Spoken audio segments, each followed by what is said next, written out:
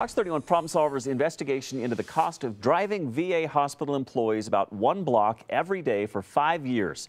Today, it's getting the attention of a congressional leader. Investigative reporter Chris Halsney joining us with reaction to his discovery. The VA spent three quarters of a million dollars shuttling staff members 176 yards. Chris?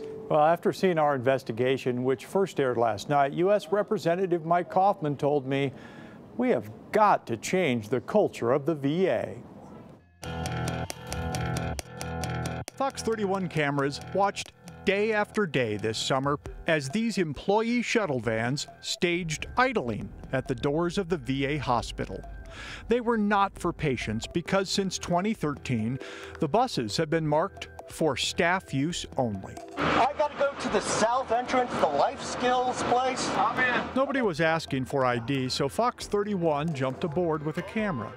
The shuttle was empty except for the driver, and once moving, the entirety of the trip was slightly over the length of a football field. How many shuttles you got running? We have uh, two running a day. Yeah. Usually we have three. Okay.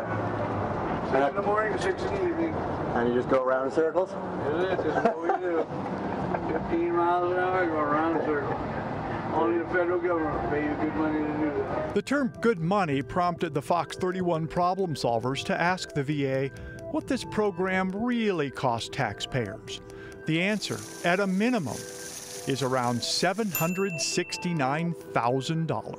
How come an employee for those years couldn't walk between that door and this door? It's one of those things, if you have a situation where you, you have an accident on an active construction site, patient, employee, not sure where they're going, I think it was a smart thing to do. The great tragedy is, is it does add up. U.S. Congressman Mike Coffman told Fox 31 there is nothing about this staff perk program that is smart. I was disappointed how dismissive the VA was about this. And I want to thank Channel 31 for bringing this, this issue to light, for bringing this issue certainly to my attention.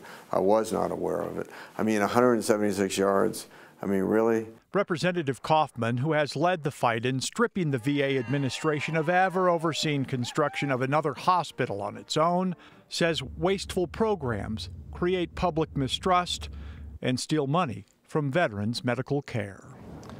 Representative Coffman also told me this afternoon he's disappointed no senior staff at the VA have ever been fired after Denver's new campus construction went some 1 billion, that's with a B, dollars over budget.